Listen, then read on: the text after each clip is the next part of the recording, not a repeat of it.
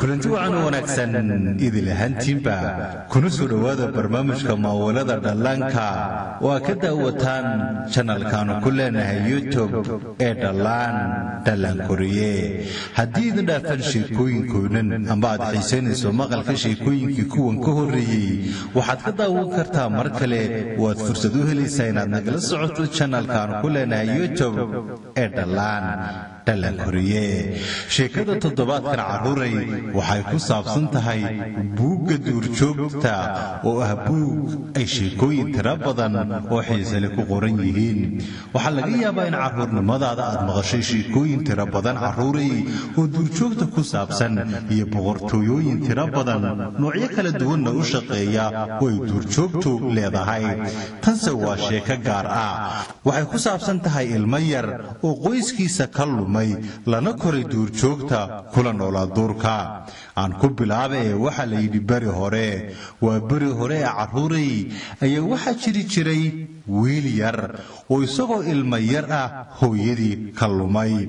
Maalin maalmaha ka mida ayaa iyadoo duurka ka raadsanaysa dacawo oo socota waxay si lama filaana u maqashay cod.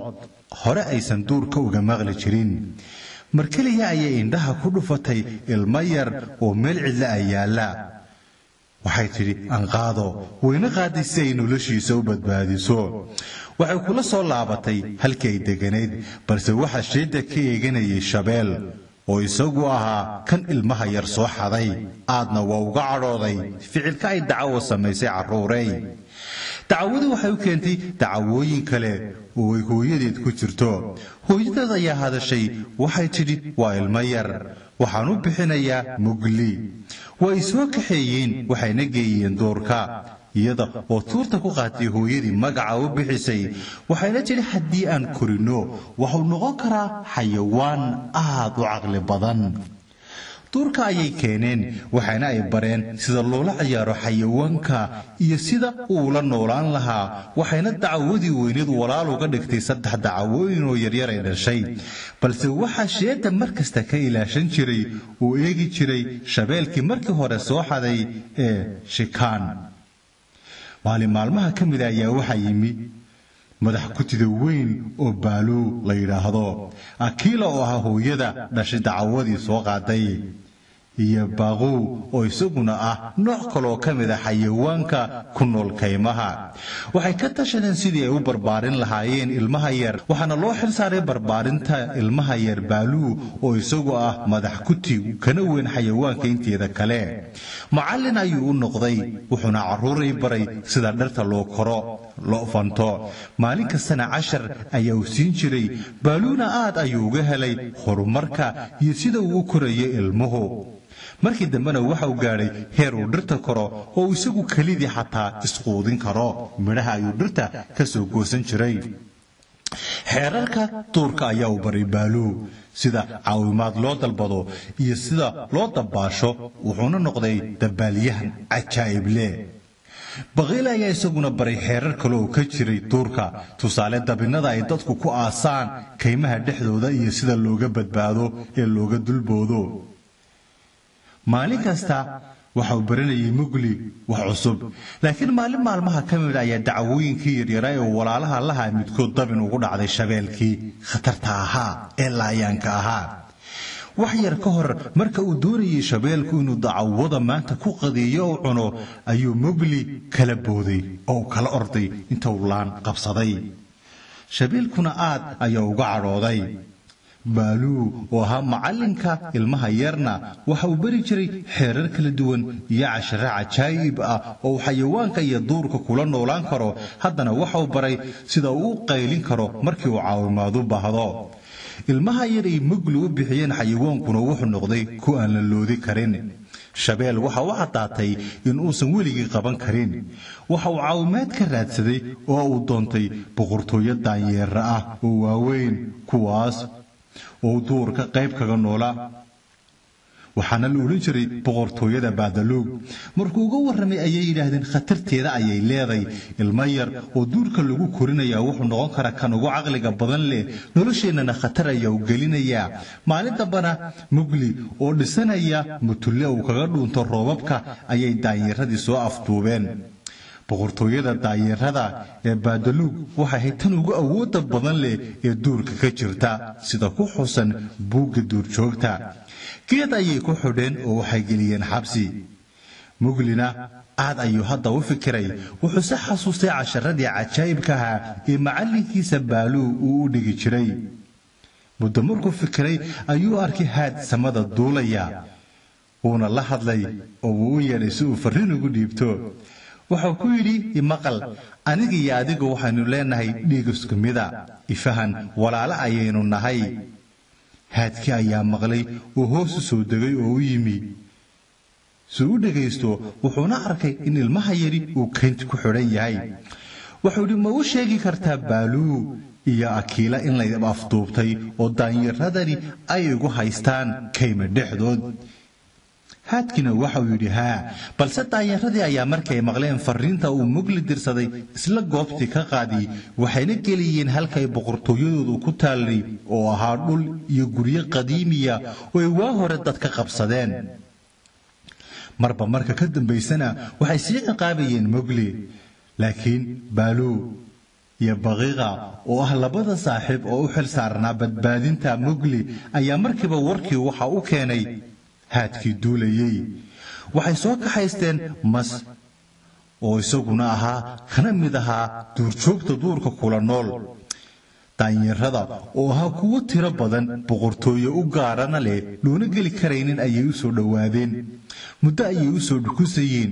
Tiradooda ayay aad uga yaabeen. Waxaana u caddaatay sida aan maanta looga badbaadi karin. Baqiile ayaa yimi.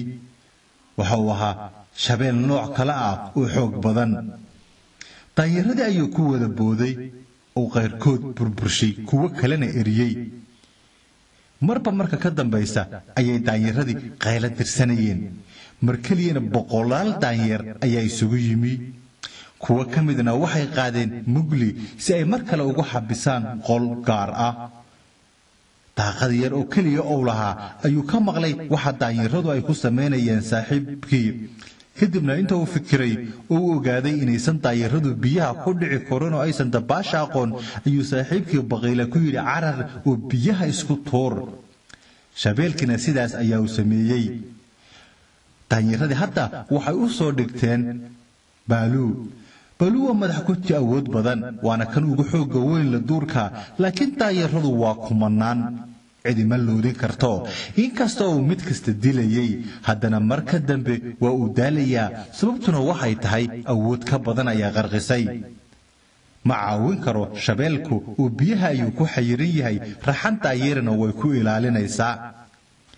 Marba marka ka dambaysana waxaa sii xoogaysanayay dagaalka ay wadaan daanyaradu balse maskii ayaa mar keliya yimi wuxuuna dubkiisa la dhacay daanyarada daanyaraduna aad ayay uga baqan jireen maska weligood. Mar keliya ayaa intay qaysheen waxa ay fuuleen dhirta.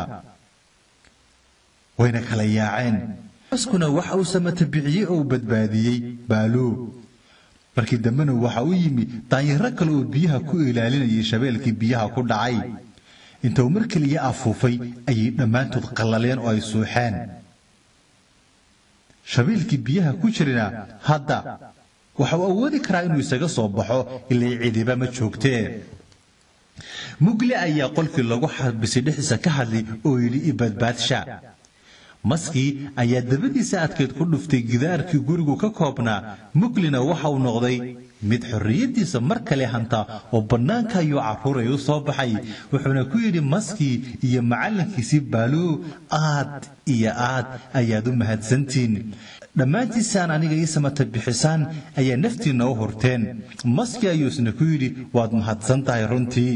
Waxaad noo qabatay howl weyn oo cid kale maanta aysan noo qaban. Markii way badbaadsheen kadib ayay mar kale duurka isku soo raaceen sheetana waxaa ka arkay shabeelkii oo maroora dilaacay markana waxa u caddaatay inuusan mar kale noloshiisa ka guulaysan karin mugli wuxuuna isaga tegay duurka carruurey isagoo cadhaysan. Dubna abadkii uguma soo laaban. Way soo socdeen.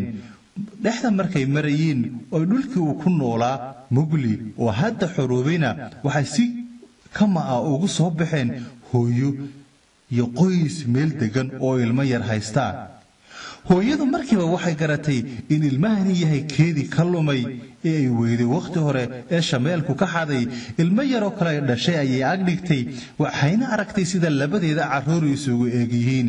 Shakina kama gelin in mugli uu ilmaheedii ka hallaaban yahay. Aad ayuu xataa mugli ugu farxay inuu noloshiisa helo saaxiibbadiisii soo badbaadshay ayaa iyaguna ku farxay in doorkan uu mugli helay qoyskiisii kana baxay duurjoogta oo uu ku laabtay. Waxay ku yidhaahdeen ogow mar kasta waxaad tahay saaxiibbadayo mar kastana hareertaada ayaan joognaa kuma ilaawi karno.